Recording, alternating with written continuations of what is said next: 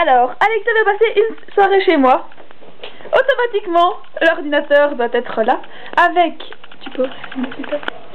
Attends, il est pas gros. Avec.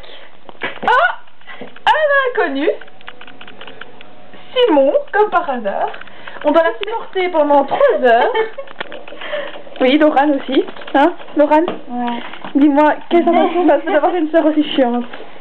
Ah, C'est dur à supporter. Hein. Ouais.